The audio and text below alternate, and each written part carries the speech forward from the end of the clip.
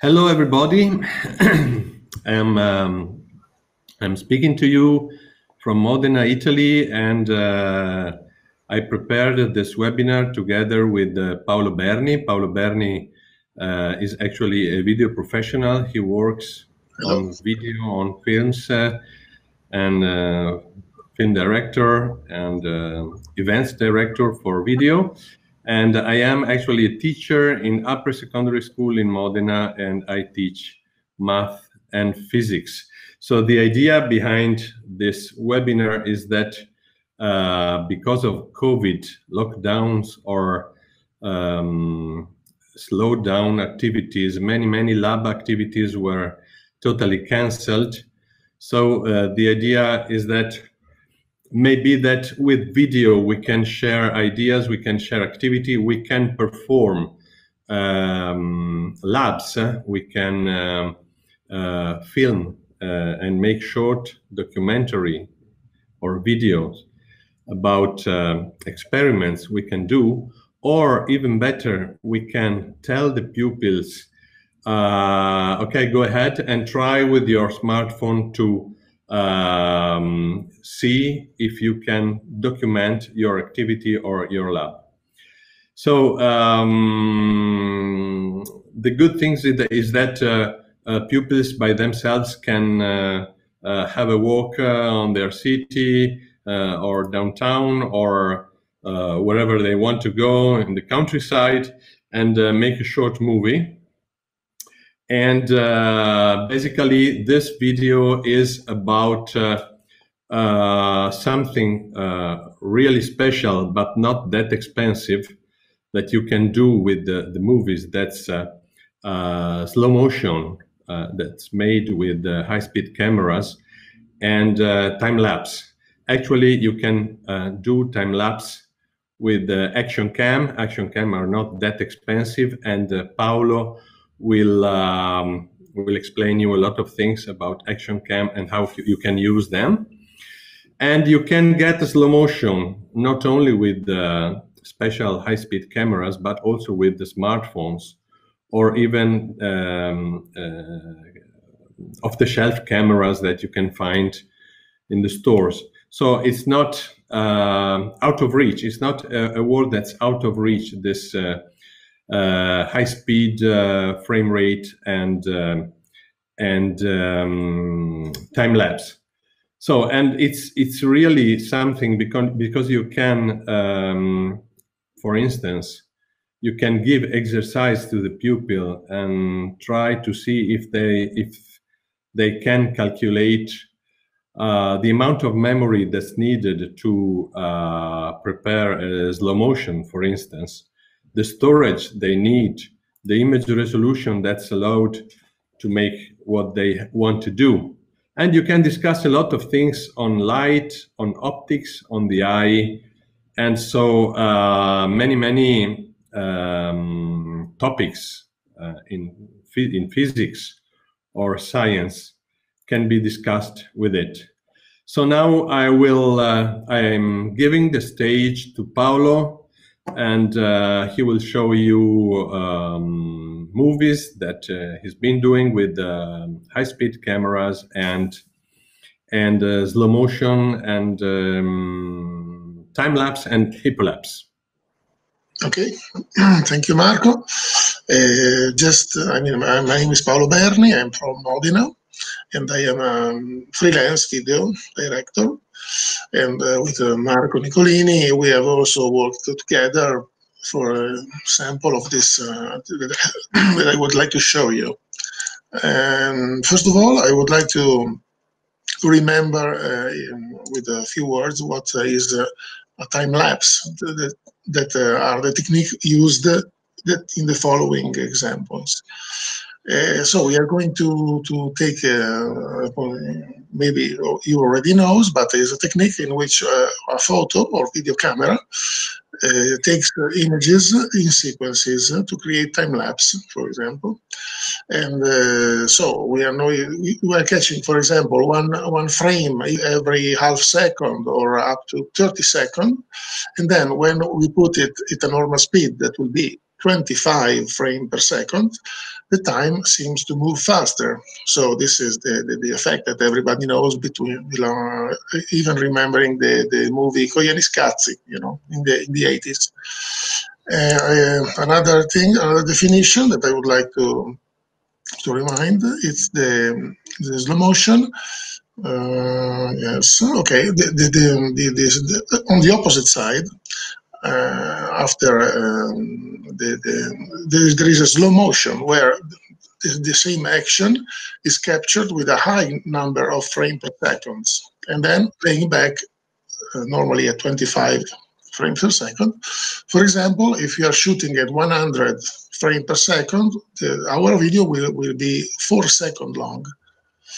And uh, this, uh, even the, the last uh, model of smartphones are, are um, capable to shoot in up to 960 frames per second. So will be um, like 20 times uh, longer. This is uh, possible just for very a very short uh, uh, time of action. For example, mm, less than one second. That will be more or less 18 seconds of playback. But in this uh, in this uh, playback, varies the, with a ralenti very very very nice.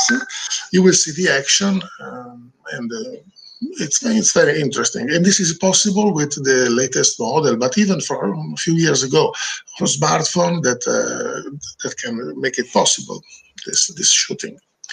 So another thing that I would like to remind, okay, there is another kind of effect that is hyperlapse, that is defined as hyperlapse or moving time lapse. So the camera in the time lapse um, action normally is still and should be still because uh, to, to make the, the effect work it works. But there is also this uh, kind of um, effect this hyperlapse so the camera is uh, taking one frame every half second up to 30 seconds but the camera is also moving in a, in a stable way but moving. So this is another um, interesting effect that we will uh, see in the example. Um, I have used uh, camera like this one that uh, everybody knows, GoPro. Very, very, I mean, it's uh, affordable and uh, easy to find and to use too.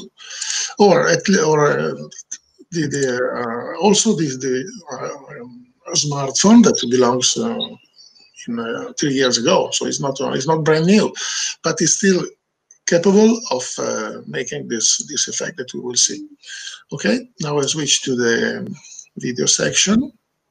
This, for example, is one hour time lapse uh, with, with shot with GoPro. So in this case, the camera is very still on a tripod. Okay, another, this is another example. Um, I have left uh, four hours between um, sunset maybe more. This will be eight hours. Eight hours time lapse, very with the appropriate uh, interval between one frame and another. And so you will see this is a slow motion. Even if it goes fast, it will be eight times faster in real time. This is a time lapse. So this you see, everybody knows the, the speed of the real speed. This is another time lapse with also the camera that is moving. This is not a time lapse in reality. It's uh, the moon is uh, is moving by its natural speed, but seems seems a time lapse, but it's a normal video. Another kind of uh, very interesting to see the, the clouds that is moving and it's fading still on GoPro, this one.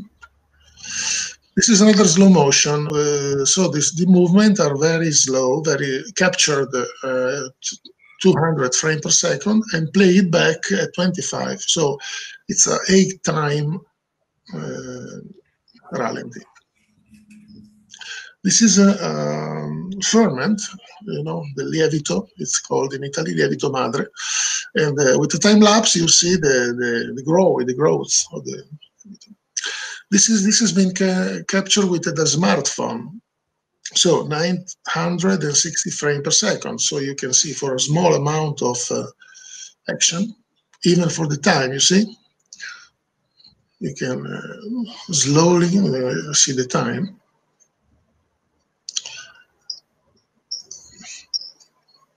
And uh, analyze uh, for your exercise or for your application. This is another time lapse that the people that is walking in on a, on a, in a room.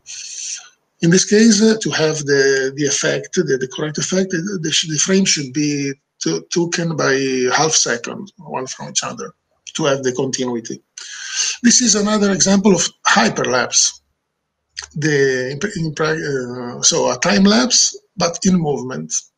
You see, so uh, could be uh, interesting from some exercise. I don't know. These are just samples, you know. This is another hyperlapse. This is on the car, you see, stable, but uh, think this uh, this uh, effect. This is a ralenti, but uh, the difference here is that the, the original frame rate was 25, and this has been just uh, um, in, uh, used in post production, you see it's more it's, it's less fluid than the, the, the original with uh, a lot of more frame. Another time lapse, sunset.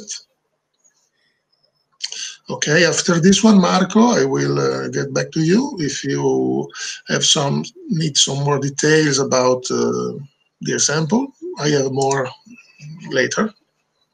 Please, Marco, I get back to you.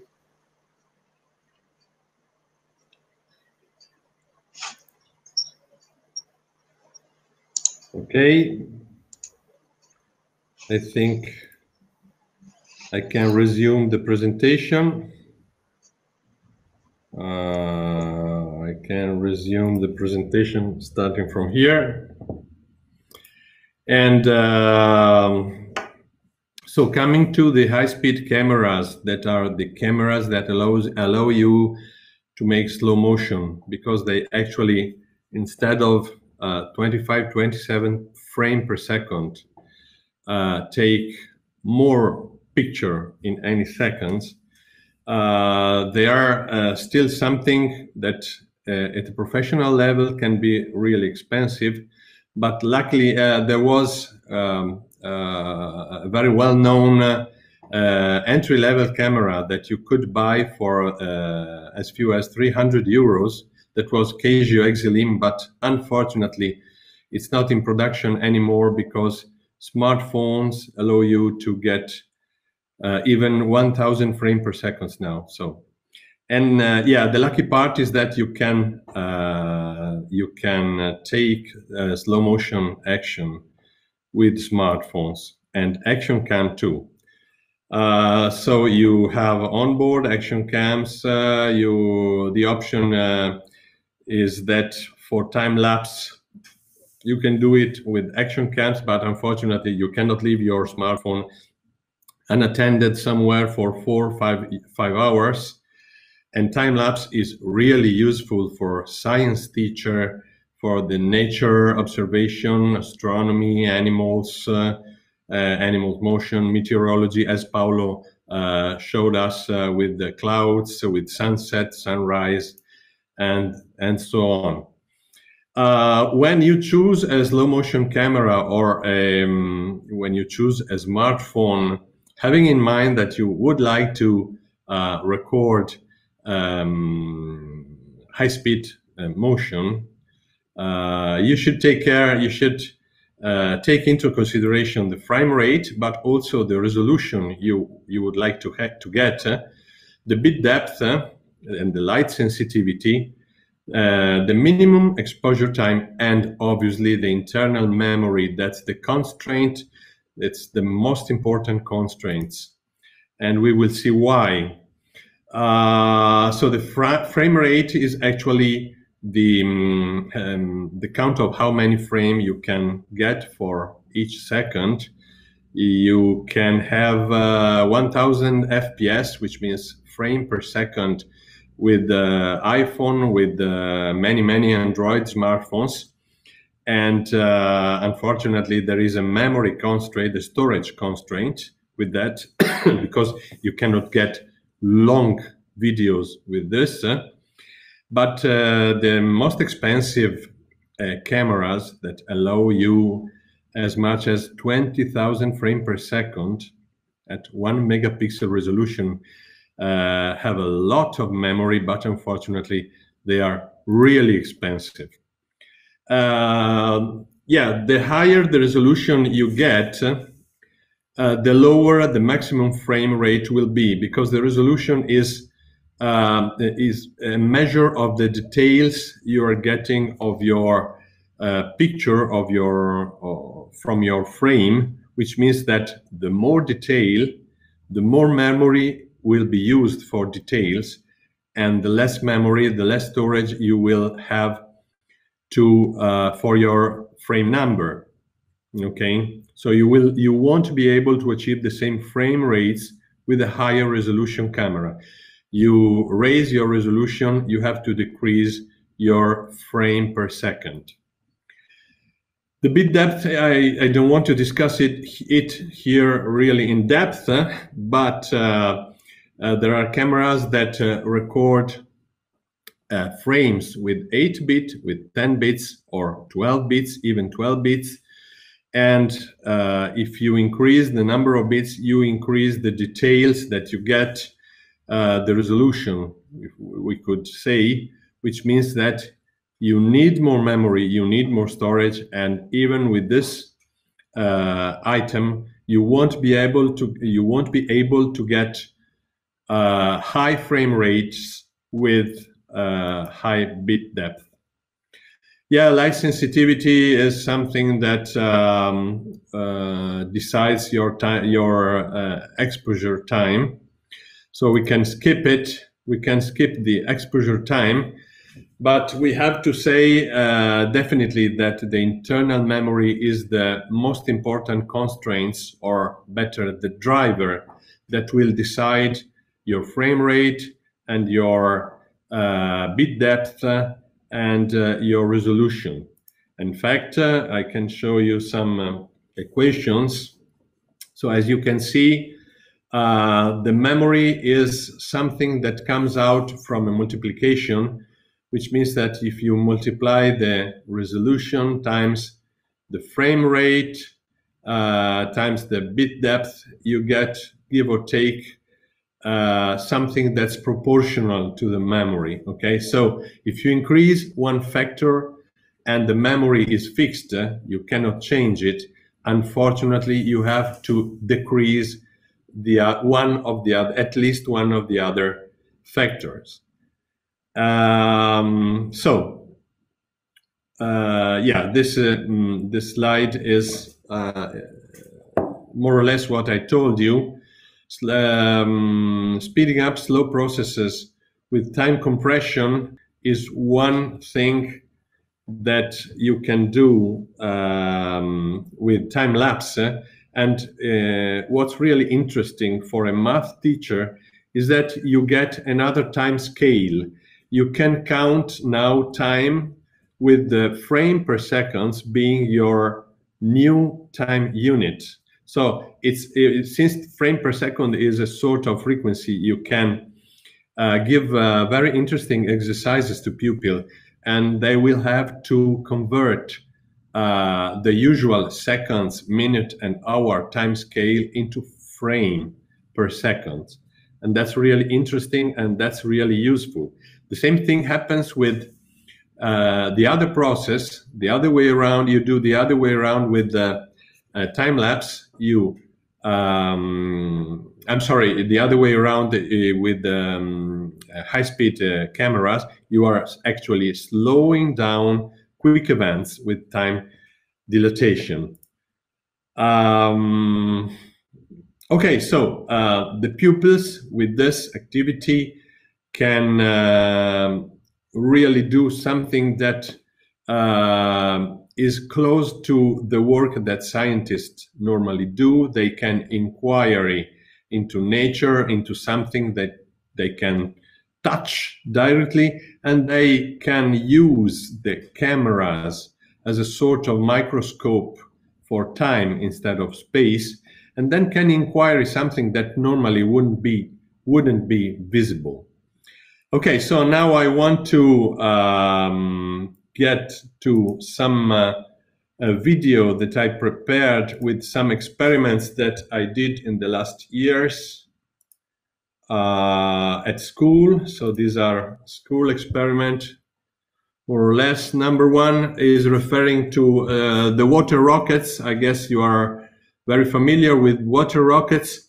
So this is not a steady camera, which means that uh, the measurement would be done with something on a tripod, for instance. But as you can see, uh, the bottle is starting and we put a paper band um, to be able, a, a, a graduated a paper band to be able to measure the speed of the rockets using a program like Video Tracker. I guess you are familiar with Video Tracker. This is another example of uh, water rockets. And as you can see, if you can count the frame that you are uh, that it takes to the rocket to get from uh, one uh, meter to the other, you can uh, get a sort of speed. Oh, I'm sorry, I, I repeated this, but it's it's short. It's not taking a lot of time, so we can have a look at it another time. And you can count frame and the number of frame and the the, the space between uh, one band and the other uh, will be used to get the speed.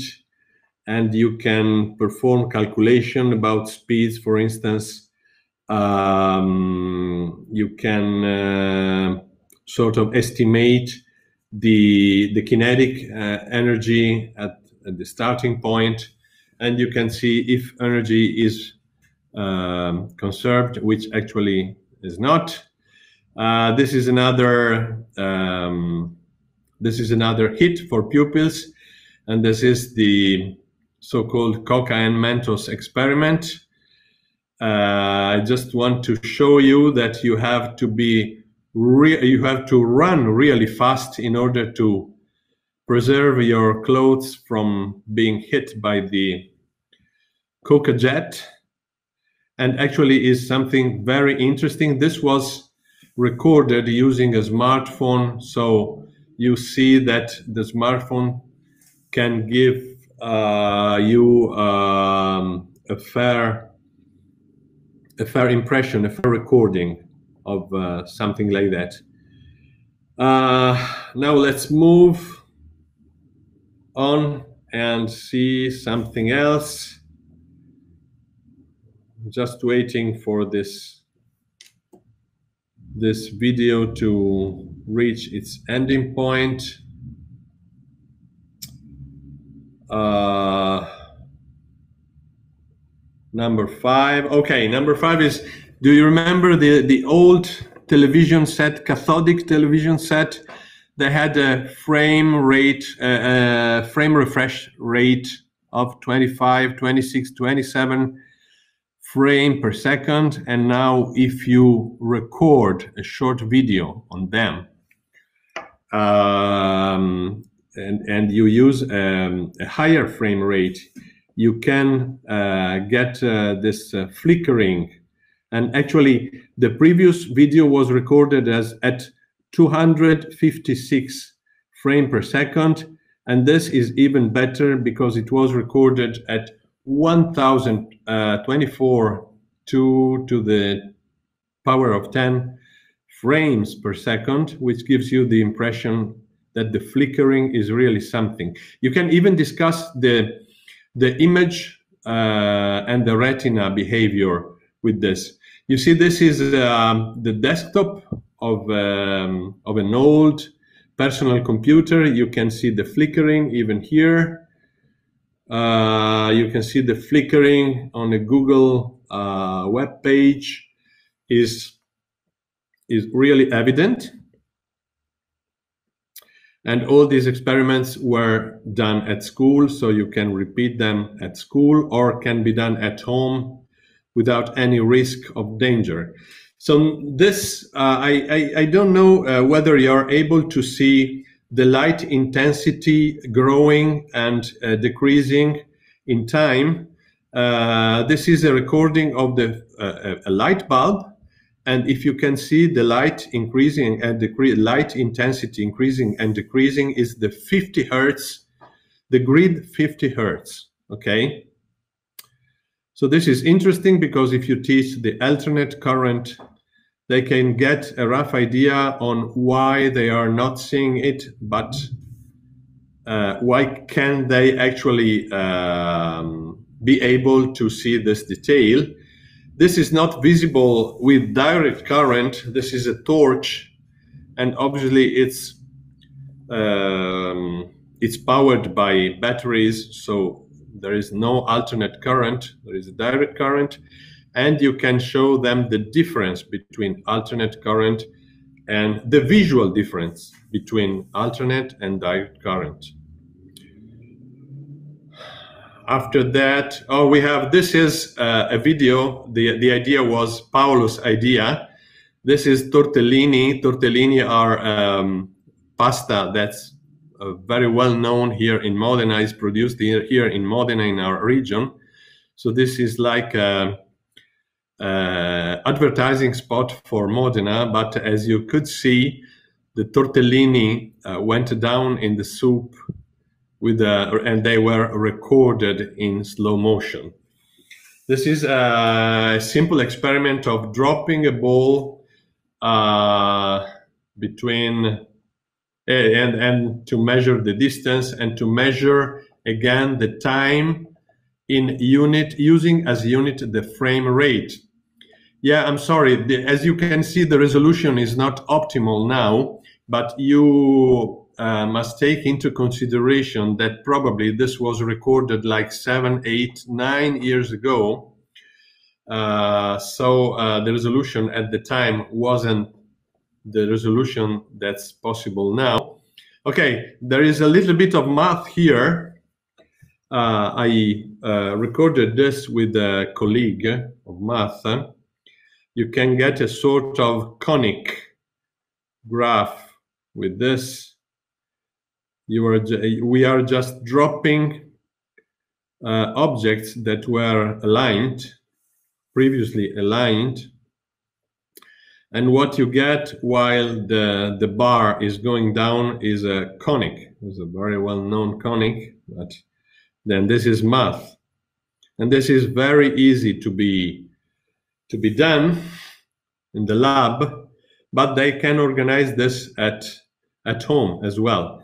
Um, uh, we had, we made recently a trip uh, visiting a mill, and this is uh, where the flour is taken and um, is produced and taken somewhere else, may be stored, and they can observe here uh, if the flour is actually uh, getting the, the good velocity, the good speed to reach the storage, and they are also centrifuging it um, to get the separation between the good uh, part and the bad part.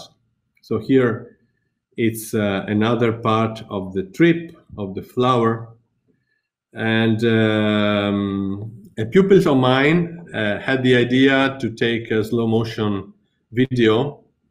And we got this and we could see how the flour parts are centrifuged and what they are centrifuged for. I guess that we are give or take at the end of the first video. Uh, I now want to show you uh, more professional videos. Okay, this is a part of the same machine. So as you can see, uh, it's slowed down thanks to the high speed. And now we are at the end of video one. Now we can take video two. So from video two, you will have a more professional experience, um, impression because in video two, we have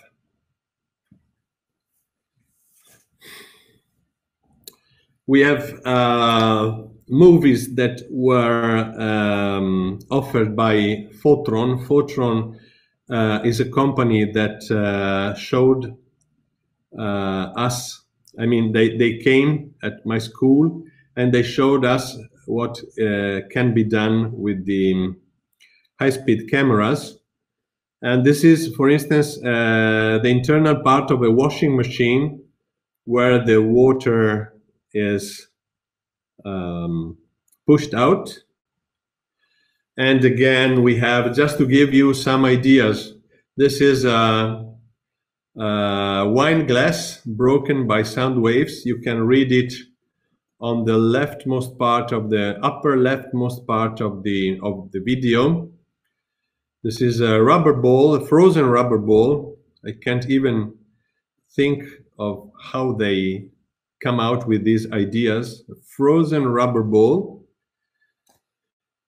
And yeah, it's good uh, recording impacts, for instance, to get the, the idea of the pulse. That is a combustion, a combustion camera of, I think, of um, Daimler Benz. And um, after that, we have we have uh, okay an impact Formula One car impact. And this gives you a rough idea of the material that are used to, uh, to take energy out of the car, to preserve the pilot as much as they can from uh, absorbing the energy. And this is what happens to the pilot when getting an impact somewhere, a strong impact which is why they want to take uh, to subtract energy, as much energy as they can with the materials. Oh, this is very famous. You can find it on YouTube. And uh, this is the uh, water bowl experiment.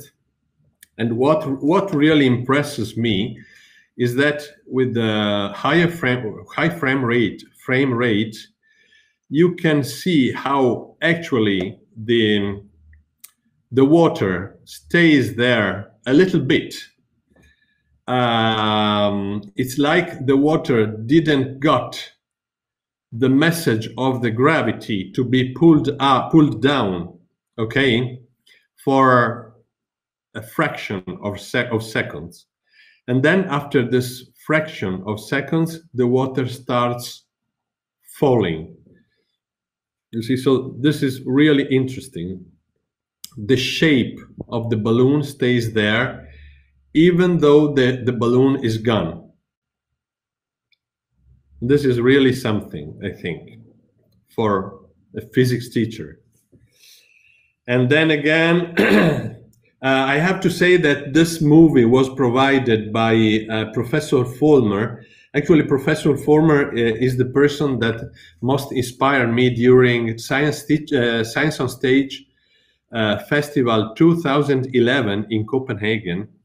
He came in Copenhagen and uh, offered a, a, show with uh, high-speed cameras and high-speed uh, experiments. And he provided me with some short videos that I will show you after that. And this is a molding machine, okay? And they can, I know that they can um, examine details to see what's happening at, if something is not working well.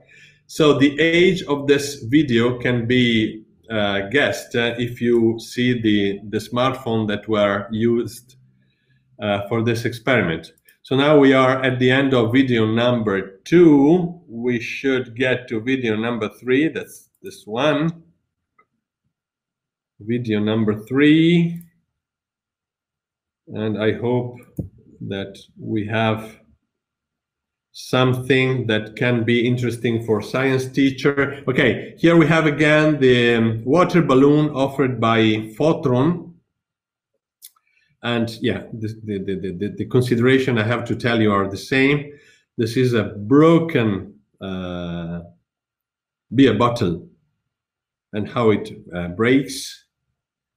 And then we have again, okay, a water drop. Uh, but as you can see, uh, the frame per seconds are 2000, which means that which means that you cannot get this effect on smartphone cameras. But just to give you an idea, I hope that sooner or later all of us will be able to buy a camera that allows us at least to get 2000 frame per second. I guess that this is within reach in the next few years. And I guess I hope that I we gave you some clue on uh, what to do with um, high time resolution. Uh, while uh, we are uh, watching, and this this is a gas lighter, and uh, whenever uh, we examine details of fire and fire events, it's really interesting to see how fire develops and how dangerous it is and how quick it is to, to uh, develop itself. And why I was telling you while uh, we are uh, watching these short videos, I would like to uh, stress how inspiring was to me the Science on Stage Festival events. And this was back in 2011 and how I was inspired by the Professor Vollmer and uh, another professor of Dresden University, the University of Dresden, sorry, because they really uh, opened my mind and gave me uh, gave me clues and hints of on something that I really didn't know of. Uh, okay, this is sport, and you can obviously uh, invite pupils to uh, record very interesting details on their sport activities, like how they hit the football go ball, the volleyball, basketball, basketball trajectories, for instance. Okay, this is a inkjet printer droplet formation, and as you can see, is 25,000 frame per second. This is 3,800 frame per second with a fair image resolution. Obviously, when a good frame resolution is not needed, there is no meaning on uh, using it. So you can increase the frame rate.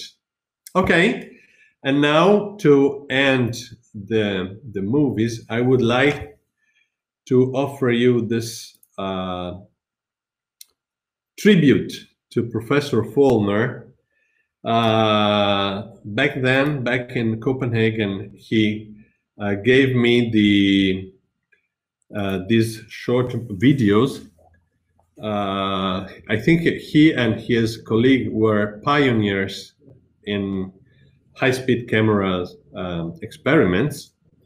I think that uh, this man is um, this guy is Professor Vollmer, and as you can see, um, uh, the frame count and the time that are the first two um, numbers that you can observe at the upper leftmost part of the video uh, are telling you that we are going at 1000 frame per second because the milliseconds count is the same as the frame count, which means that you can get this even from a smartphone that your pupils have at school or have at home and can, they can provide the lab with stuff like that.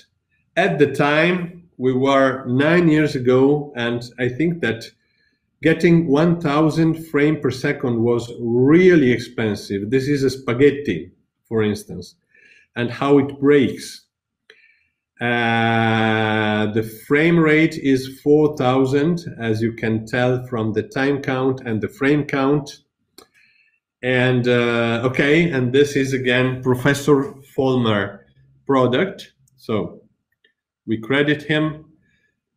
This is a tennis ball. is really interesting to see uh, the duration, the impact duration. Okay, if you teach the um, uh, impulse force times uh, time is really useful to measure the impact time. And normally the impact time is something that's not easily measurable or easily distinguishable. And again, we have the, okay, the explosion, the ball explosion, and I am afraid that we are done now. Uh, so this is more or less our proposals. Again, the idea is that um, uh, the idea is that um, in lockdown, in lockdown uh, time, you cannot uh, you cannot schedule properly uh, lab event and lab activities so maybe you can tell your pupils, okay, you go ahead, you make a short movie of, um, I don't know, of uh, snails walking, and you take your action cam there for a couple of hours, and then we will examine the snails moving and the characteristic of the motion. And uh, the lab is is done at home, can be done at home, and can be offered thanks to the internet to the whole class. So, in hard COVID times, this could be a wonderful activity and a wonderful and shareable activity for all.